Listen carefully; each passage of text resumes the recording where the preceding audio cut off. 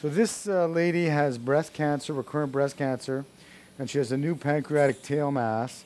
So they want to know if it's a MET or if it's a primary pancreas. Um, I think most of these cases I've seen look more like primaries than METs. Vous allez sentir le tube dans la bouche. Respirez bien. Voilà. Non, non, bougez pas la langue. Juste respirez. Voilà. OK. Penchez la tête vers l'avant un petit peu. Avalez un petit coup. OK. Encore un petit coup. OK. Merci. Voilà. Essayez de dormir si possible. Restez sur le côté comme ça. OK.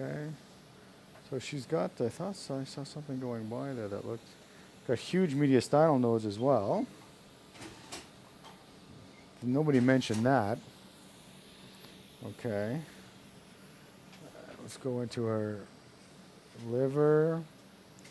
How does that look? Touchez madame. There's her pancreas there. Okay, so torque from the liver, uh, portal vein here, bile somewhere down here, right there. Torquing pancreatic duct.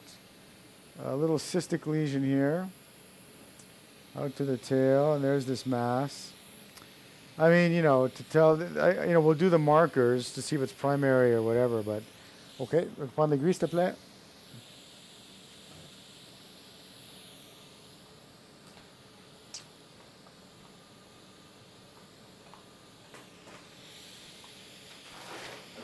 If, if the PD is obstructed, that's more in favor of a primary. But uh, what can you do?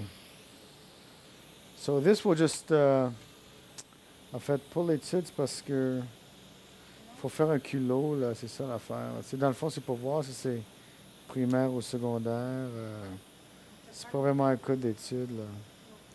So we're just going to put this in the cell block just to, you know, they, they just want to see, ah, but si she, Madame, il faut rester sur le côté, s'il vous plaît. Comme ça, là. Okay. So she's got another one here which suggests then that it, they are Mets. If you have multiple lesions, that's certainly in favor of Mets. So there's another one there. And this one here. So, so we'll just put the needle out here. There we go.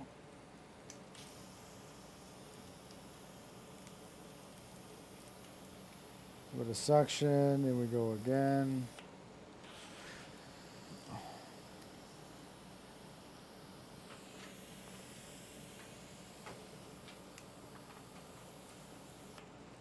Go again.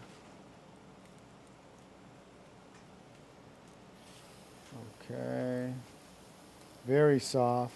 So she, as I say, she does have this large mediastinal mass but which is pretty unusual with breast cancer. Usually they don't get mediastinal nodes. At least they don't send them to us anyway. So that's pretty unusual. Okay, that's it. So I think the fact that there's multiple multiple lesions, kind of lobular, uh, and there's a peritoneal implant, I think overall it suggests that they probably are metastatic. So we only did the cell block because they need to do uh, like re receptor analysis and stuff to see if it's a primary uh, breast or pancreas. That's it.